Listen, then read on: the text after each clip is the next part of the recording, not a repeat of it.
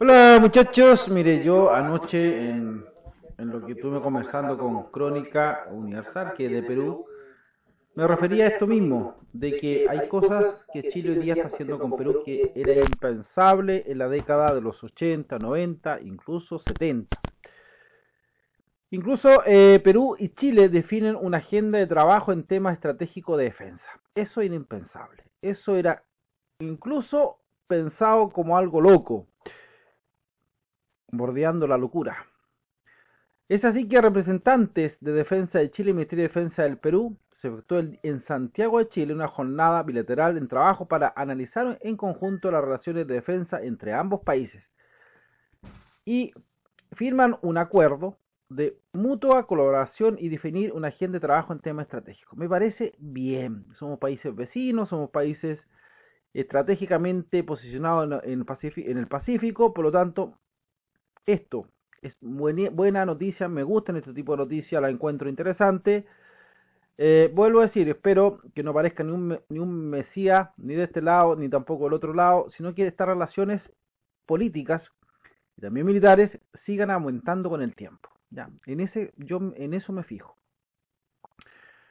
Eh, participó el secretario de Defensa, Ricardo Montero, el viceministrante de Políticas para Defensa de Perú, César Torres, director de Relaciones Internacionales del Ministerio de Defensa del Perú, el señor Augusto Cabrera, y el agregado de Defensa de Perú en Chile, el coronel José Chugunchinque, son los que participaron en este concepto. Así que felicidades por este encuentro. ¿De quién se trata esta firma? Bueno, esta firma, su conjunto de su secretario de Defensa abordaron otros temas. Por ejemplo, asistencia humanitaria, gestión de riesgo y, desastre, operaciones de paz e implementación de la resolución 1325 que corresponde a el tema de seguridad de Naciones Unidas, Consejo de Seguridad. También sobre el derecho de las mujeres en contexto de conflictos bélicos y su rol como agente de cambio por la paz. Este encuentro, que finalizó con Montero de Chile, recordando que este trabajo de nivel de sus secretarios nace de mando efectuado por el Ministerio de Defensa de ambos países. ¿Ve?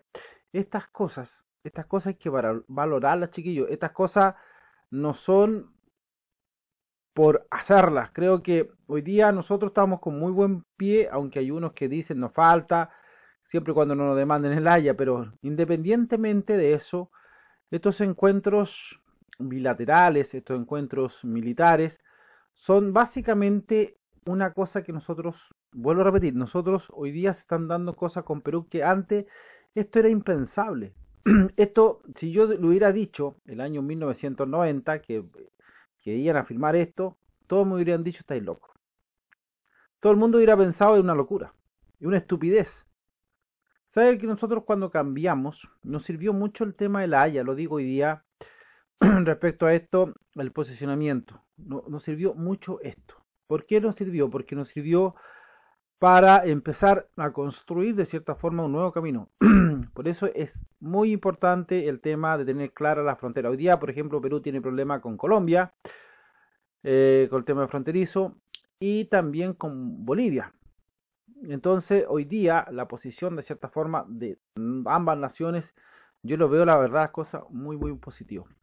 Y por qué no decir, hacer ejercicio en conjunto, incluso navales, no sería tampoco malo.